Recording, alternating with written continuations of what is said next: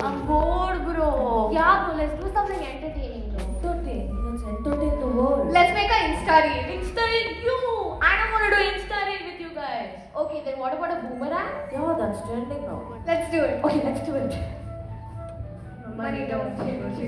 Info, wiggle, wiggle. So show, jiggle, jiggle. You know. It was so cool, bro. I wonder how people from the old generation entertain themselves. No TV, no phone, no gadget. Oof. I bet it was boring. Have you heard about Dhundiraj Govind Phalke? No, dude, who is he? Dhundiraj Govind Phalke, also popularly known as Dada Saheb Phalke through the film Raja Harish Chandra, is also considered as the father of Indian cinema and he is the one who worked on India's first silent film. Although it was a silent film, little did he know he was giving rise to a form of art whose voice would echo around the world. Though it took nearly two years after Raja Harishchandra for the first motion picture with sound to release. An example, Alam Ara, directed by Ardeshir Irani on March 14, 1931. And the seed of color cinema was sown to Kisan Kanya, directed by Moti B. Gidwani in 1937. There is no such evidence in history that tells the starting point of Indian cinema, but it is considered that the Lumiere brothers introduced this motion picture to the world. No wonder movies from the early 1990s have their own beautiful different charm. Mahal was the first Hindi theatre to have a song, which acted as a lead motive throughout the film. This was followed in other movies like Madhumati, Woh Kaun Thi, and Mera Saya. Back then, people also went very overboard just to shoot one scene. Oh, do you guys know what happened in 1995? Uttar Pradesh witnessed a great flood. Cameraman Fadat Irani went to the scene and shot some footages which were later used in the films. One time, a guy agreed to flood 500 acres of his land just to shoot one scene. In the Exodus scene following the flood, 300 bullock carts, 200 farmers, and many other horses, tractors, and plows were used. Khan Bahadur Ardeshir Irani was a writer, director, producer, actor, film distributor, film showman, and cinematographer in the silent and sound eras of early Indian cinema. No wonder Adish sir is one of the greatest legends of India cinema. Oh, why don't we hear about him from him as well? From him, Wait, what? I have a time stone. We can bring him back to life. Adish Irani! Ah! It is so good to be back from the grave for some time. All of you guys have another assistance.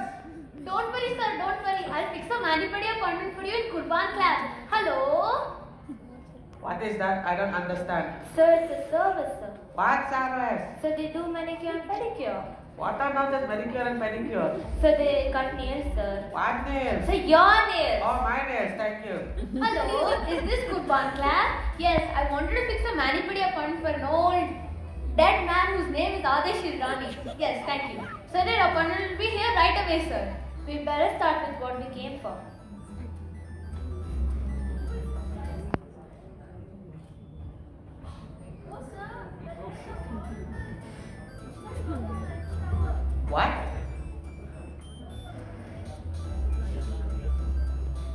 What is this, sir? He's growing Rapunzel's hair. He needs waxing. What rubbish is this? Who's this guy insulting me in front of so many people? First, you call me from the park. Second, you disturb my afternoon dinner. And then you humiliate me? No, no, no, sir. This is all to make you feel nice and happy. Let them help you, sir.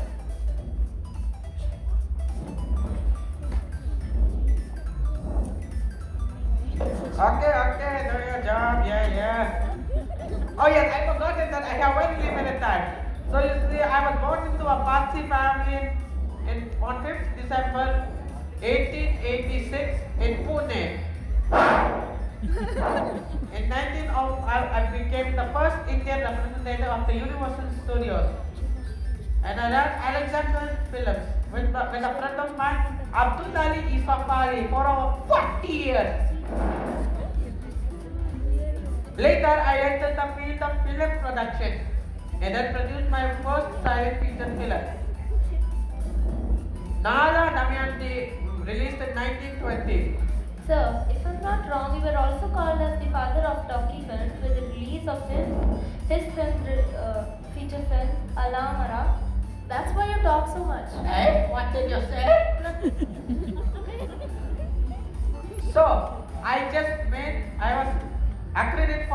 the first English feature film, Noor Jahan, in 1931. Later, I earned the hat trick of earning fame by producing the first color feature film, Kisan Kanya, in 1937. Okay, sir, okay, sir, we got it, sir.